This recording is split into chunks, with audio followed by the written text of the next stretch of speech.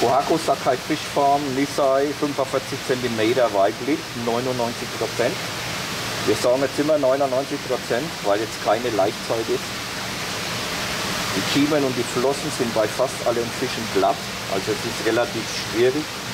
Wir drücken die ab, also wir versuchen hier Samen rauszudrücken. Wenn nichts kommt, dann ist der Fisch für uns weiblich. Die Flossengröße ist auch maßgebend dafür. Ansonsten ist der Coago sehr gut. Hat schöne Zeichnung. Sakai-Fischer werden groß. Bis Mai, Juni haben wir hier 55 cm locker. Wer hier Interesse hat, der Preis noch frei.